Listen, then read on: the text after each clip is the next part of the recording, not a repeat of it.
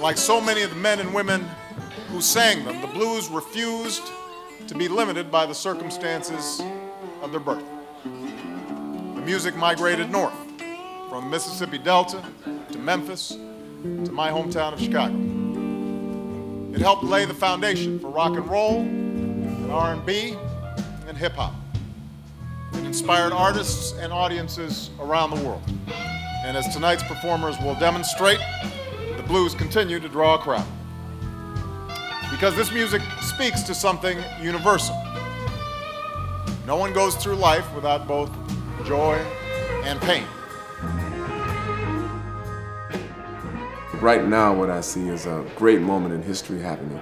B.B. King is here, Jeff Beck, Mick Jagger, Gary Clark Jr., up Shemekia Copeland, you know, and uh, Warren Haynes, Derek Trucks. Buddy Guy and Booker T and Fred Wesley and President, First Lady will be here. Pretty exciting stuff. So, stories for the grandkids.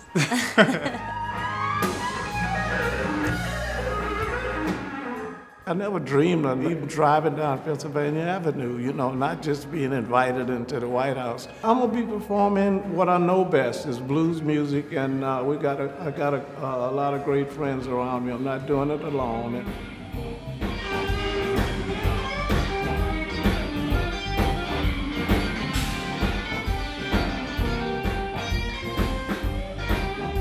There's so many different styles uh, of blues. Like my father, Johnny Copeland, he was Texas blues, along with uh, Gatemouth Brown and Albert Collins, and even people, um, Stevie Ray Vaughan, who people know very well. And then you have Chicago style blues, which is Buddy Guy and, and people like that. So everybody has their own different flavor that they put into the music.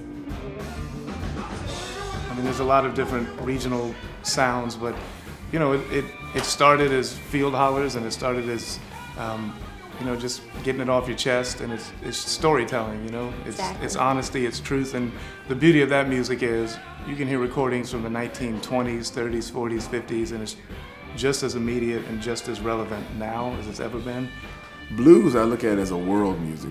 Even though it's American, the blues we know here is the American blues. But blues, every, every culture has its blues.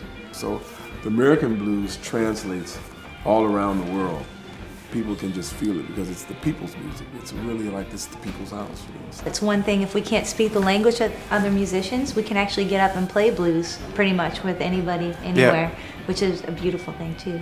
Still to this day, I think it's one of the most expressive art forms because it's such a communicative thing. It's really tapping into your innermost emotions, and uh, there's no expression deeper, I think, than, than someone's who who is uh, presenting the blues in an honest way.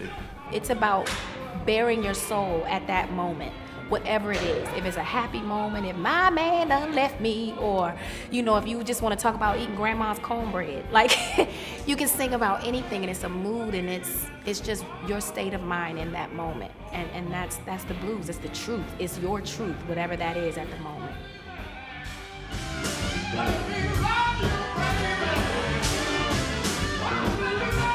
You know, I was born on a farm in Louisiana. My parents were sharecroppers, and I picked cotton by hand, not by machine. And you couldn't even dream of this because my mother had a stroke when I was about 16, and that was the end of my uh, education. And I'm like saying, this is it, you know. And all of a sudden, you go to sleep, wake up, you're invited to play music in the White House, self-taught, never learned anything from a book. So it's a dream come true for me.